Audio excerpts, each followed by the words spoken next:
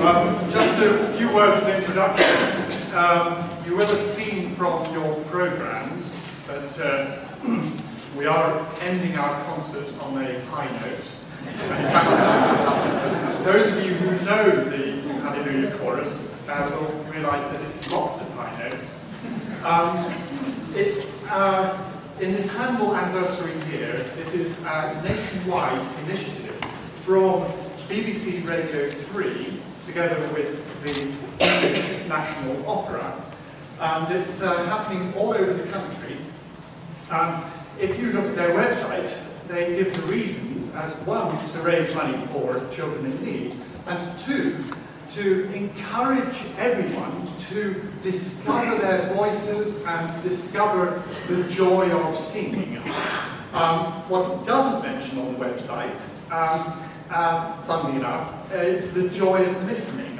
Um, um, which, of course, in this case, is uh, going to be absolutely wonderful, and uh, you're going to find mesmerized that you're going to put your hands deep into your pockets um, to scrabble around for those banknotes, for the high notes.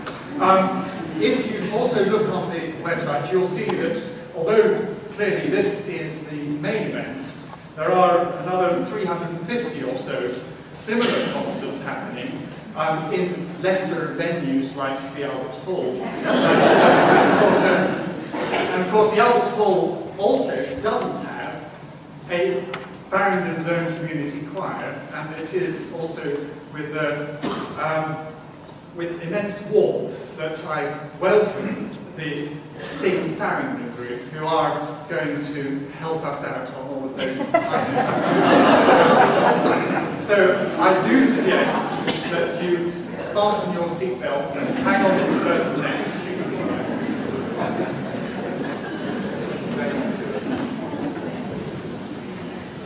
Faringdon Community Choir have been working very hard behind the scenes and uh, we've been working quite hard as well. Yeah. We've had one rehearsal together, so we hope that uh, what we've learned in that rehearsal will bear fruit now.